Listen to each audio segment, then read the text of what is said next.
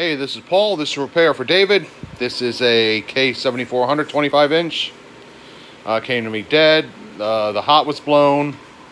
Uh, I already had a cap kit on it. I replaced uh, some caps that were high failure rate on this chassis just to be safe. Did some reflow work. I uh, had this chassis on my testing rig for several hours and no other issues came up.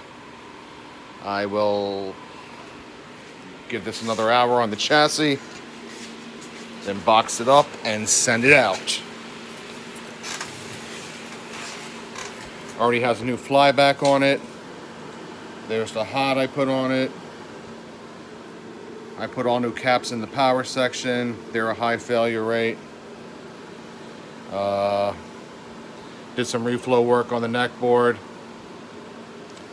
And I found um, no other problems with this chassis, so it should be ready to go back. I'll box it up and send it out.